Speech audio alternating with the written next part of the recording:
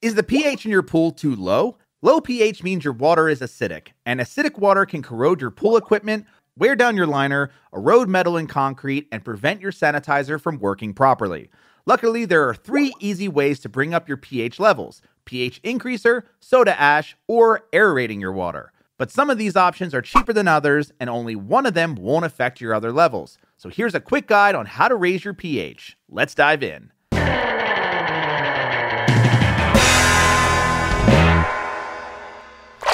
Real quick, if you want more help taking care of your pool, be sure to grab our free pool care cheat sheet at swimuniversity.com slash cheat sheet. It's totally free and will help keep your pool clean and cleared throughout the year. First, what causes low pH?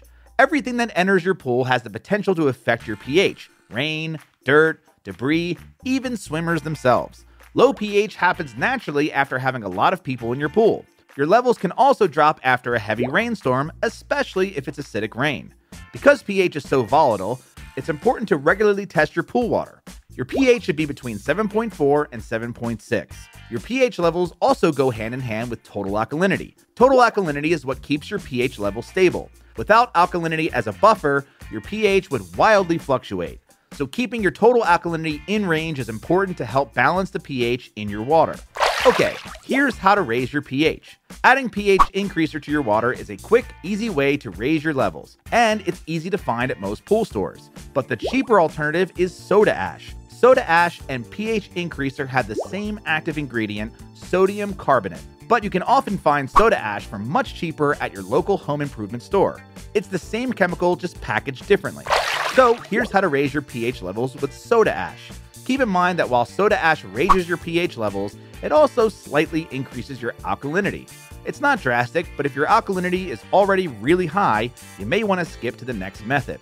As a general rule, if you have a 10,000 gallon pool, adding 6 ounces of soda ash will raise your pH by 0.2, and your total alkalinity will go up by around 5 parts per million. So if you have a 20,000 gallon pool and you need to raise your pH from 7.0 to 7.4, you'll need to add 24 ounces of soda ash. Now, when adding soda ash to your water, make sure your pump and filter are running so that the chemical is mixed into the pool water properly. And add a small amount of the chemical right into the water. Be sure to spread it around as much as possible and don't add too much all at once. You can always add more later and don't pour it directly in front of your skimmer, otherwise, it'll get sucked into your filtration system and it won't rebalance your water. Let the chemical dissolve in the pool and circulate for at least 20 minutes, and then retest your water before adding more.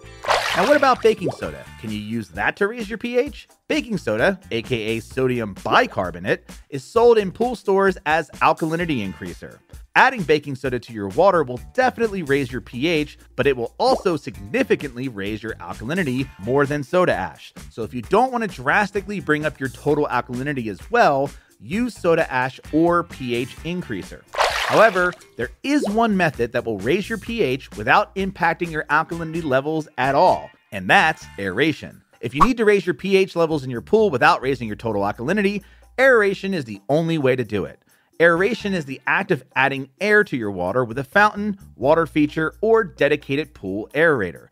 This increases oxygen, off gases carbon dioxide from the water, and removes carbonic acid. And that will raise your pH without raising your total alkalinity. If you don't already have water features or you want more control over your aeration, you can get a dedicated pool aerator.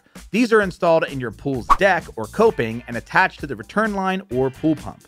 It is possible to over aerate your water. To test the effects of aeration, test your pH and run your aerator or water features. Then take a reading one and two days later. If your pH has risen dramatically with all the other levels equal, you might be over aerating your water.